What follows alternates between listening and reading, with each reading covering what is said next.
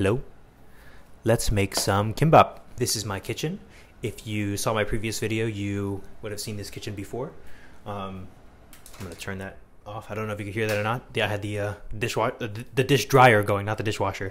I just went to Carrefour or Jialefu and bought some ingredients. Uh, I have been craving some Korean food since we haven't had Korean food in a while, and we've it's been over a month since we've left Korea. So today I'm gonna try to make kimbap. We only had kimbap once when we were in Korea, but I've had it before in the U.S. too, and I'm gonna try to make something similar to like a bulgogi kimbap, so like a beef kimbap. Uh, if you don't know, kimbap means uh, seaweed and rice, and uh, bulgogi is like Korean barbecued beef. So we're gonna try to make something like that. Again, this is my first time doing a cooking video in my kitchen, so we're gonna see how it goes, but um, I apologize if there's any noise or weird videography stuff going on. So um, please stick along for the ride, and I hope you enjoy, and I hope that this uh, this kimbap turns out okay. Okay, so um, these are the ingredients that I got. Hopefully, these are acceptable. Um, my girlfriend is Korean, if you didn't know, so she'll be the judge on that, I guess. Um, let's let's look at what we got here. Um, I have these seaweed uh, sheets, I guess, seaweed sheets, and um, I'm praying I got the right ones. They're made in Taiwan. So I don't know if that's going to affect anything or not. Um, I think kids normally just take these sheets and eat them like directly. But the guy that I asked for, the guy that I asked for like directions on where to find those, he said those are the ones for cooking. So hopefully, uh, hopefully that's the right stuff. I got two packs of those. I didn't have any sesame oil, so I got that. I got kimchi, which is not a part of the um, kimbap. I'm just gonna have it with it. I like kimchi. Um, this is really all for me. My my Korean girlfriend, believe it or not, doesn't like kimchi, so uh, that's all for me. I got carrots. I think I actually have one, but I just got more just in case. We have Australian beef. Why Australian? Because uh, it's cheaper than American beef here. Supposedly spinach is a better option, but I uh, I could not find any. I think they were sold out in the market that I went to, and I didn't feel like going to another one. So I don't think Minji, my girlfriend, likes cucumbers. So we're gonna do two. I'll do one with it and one without, and then we'll see if it makes a big difference or not. I got this stuff. I forget the um, the English name for it. Or Ye. So that means uh, oh, it says Hangguo Ye. So that means Korean um, sesame plant leaves, sesame leaves. Um, I forget that they're not called sesame leaves in English. They have another name, but I forget what it is off the top of my head. I'll put it up here. So those are the ingredients we're working with. Um, hopefully that is the right stuff. And oh, we have rice too. I'll put I'll do rice right now. So honestly, as I poured out my rice, I realized I'm kind of using the wrong grain of rice. You're supposed to use short grain or medium grain rice for uh, kimbap, but this is kind of like a Thai long grain rice. Um, it's not super long, so hopefully it'll be okay. Um, supposedly the reason for doing that is that it's not gonna fall out, like it'll stick, it'll stick together better if it's shorter grain. Um, again, I don't know how true that is. This is my first time making it, but that's just what I've heard um, online.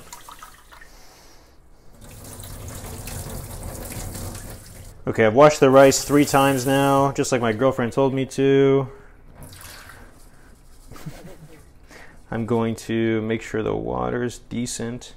This rice cooker that I have, it uh, it always burns rice, no matter what. If I do, if I do less water, more water, uh, if I butter the sides, it always, always makes burnt rice. So hopefully, I put enough rice in there that that there's still enough that's not burnt when it's done. Okay, while rice is cooking, what we're gonna do now is prep the beef. I have to look up what exactly goes into that. Um, and I know that I'm missing some ingredients. So we're just gonna kind of wing it and hope that it turns out okay. Here's the beef we're working with. I'm going to put it in this little container. Then we're gonna fill it with some soy sauce and some sesame oil and maybe some garlic. I think that's I think that's all we're doing. This is kind of the mixture we're dealing with right now. We got garlic, um, some other spices. We've got soy sauce and sesame oil. I don't know the proportion for everything, so I just kind of guessed Definitely a lot more um, soy sauce than sesame oil. I don't know if that's that's accurate or not, but we're gonna uh, just kind of mix this all together, make sure every area is coated, and then we will um, just let it sit in the fridge for about 30 minutes.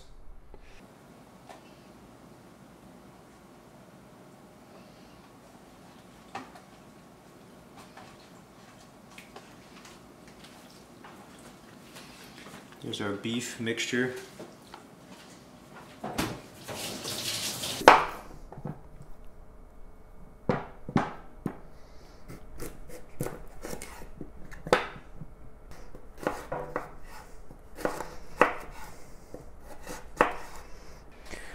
All right, so I've cut the carrot. Um, my cutting skills aren't aren't the best, so um, I'm just gonna have to deal with that. I'll probably thin these thicker ones out a little bit more. Um, they're supposed to be matchstick thickness and width. Um, these are a little bit thicker, but you know I'll figure that out. And then I'm gonna do the same thing to the cucumber. Uh, the cucumber I don't think will cook. It'll just be put into the, the kimbap raw. And then this will be cooked uh, for a few minutes so it's a softer texture. Um, it'll still have some crunch, but um, less carrot flavor and um, but more of a cooked carrot flavor, which uh, I kind of prefer.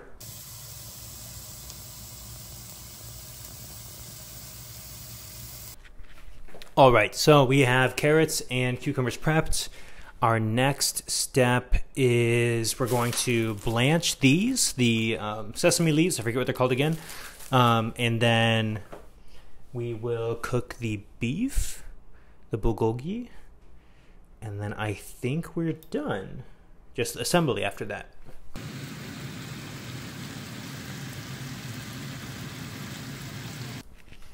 All right, so the beef is cooked. We've got all of our ingredients prepped. The sesame leaves are blanched.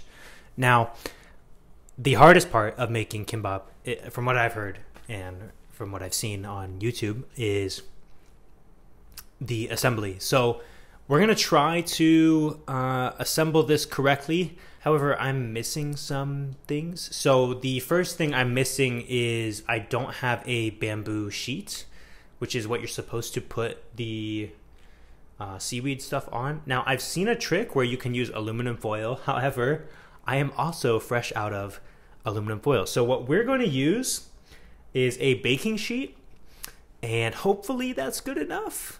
Um, the goal really is just to have something outside of the seaweed itself to wrap it in, um, from what I've gathered. So hopefully that is good enough.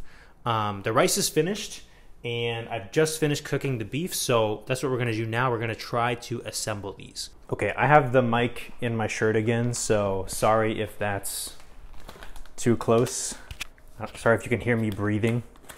All right, here's our seaweed. Gosh, I, I, haven't even opened this yet. I probably should have opened this before we started, but yeah, I don't even know really if this is the right stuff. So let's see here. It looks right.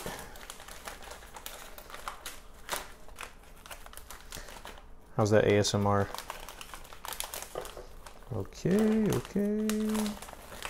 Okay, that looks right to me, or it looks like it's gonna be good enough. Um, again, I am not a professional cook. I don't even think I'm a good home cook. I just like to cook. So I have no clue what I'm doing. If you're going to do this at home, I would definitely recommend uh, watching someone better than me teach you how to do this. So let's get the rice out. Um, to be honest, what I've heard is you're supposed to use cool rice, but my rice is piping hot. So um, we're just gonna have to deal because I don't feel like waiting. From what I've seen, you're supposed to cover it like like maybe two thirds of the way. So we're gonna do that. I'll use this to spread it out since it's so hot right now. Again, we don't want anything more or less covered. kind of evenly spread. It is quite sticky, so I suppose that's good. We don't want this thing falling apart. Try not to push it together. It looks like the moisture from the rice is like affecting the seaweed. I'm going to do leaves first.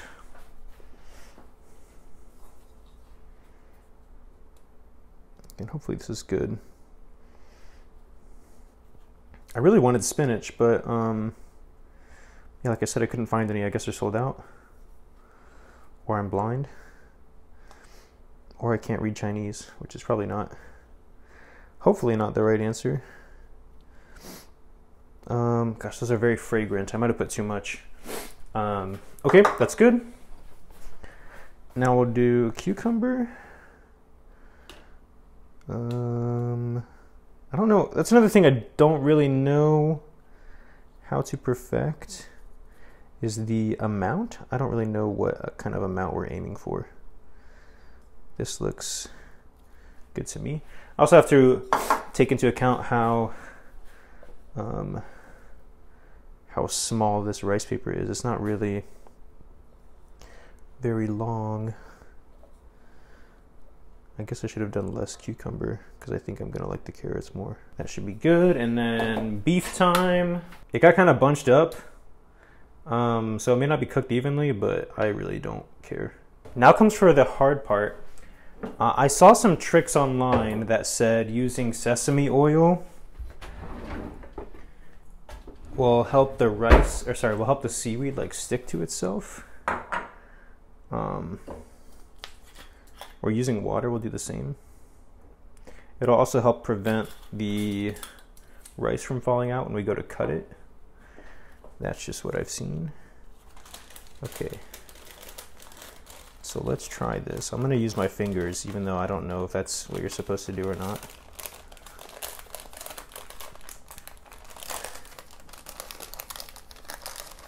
Wow, this is uh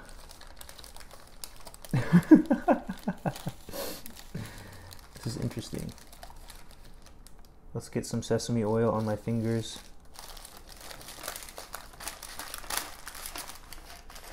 Okay, it's uh, wrapped in there.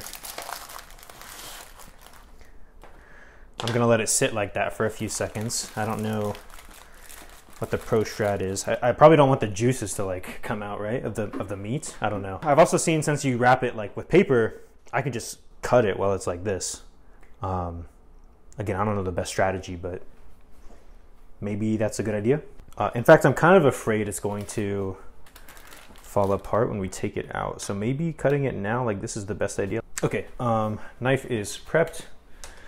Let's try cutting this. I guess. Oh, okay. Well, it's not really circular, but that doesn't look bad. We definitely went heavy on the veggies and not so much on the meat. Um, but it'll be less for the second one because we're going to do it without cucumber for the next one. So hopefully that is all right. Um, I'm to try to unroll this one and see what happens. Okay, it's sticking together. So that's that looks good. Okay, let me get a plate real quick. Oh no, this this does not look like it's going to stay assembled. Oh, that's unfortunate. Okay, yeah, it did kind of come apart there. And I think it's because my knife isn't sharp enough. And I also didn't roll it really tight enough. Okay, actually that one looks better. Ooh, it's still falling apart. Yeah, it's still falling apart the aesthetic isn't going to be the same, but all the ingredients are. So hopefully that's good enough.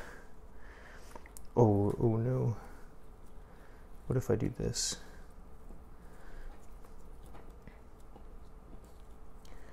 What if I try that?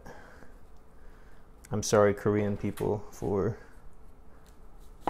disgracing your culture.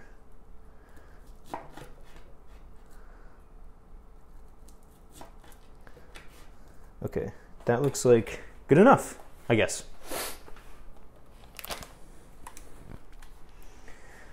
There is the kimbap. Uh, this one on the end kind of fell apart.